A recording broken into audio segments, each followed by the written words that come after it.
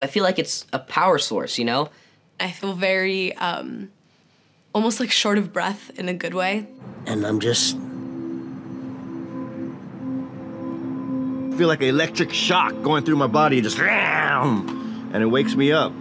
It takes me back to a point in my life where I had no worries.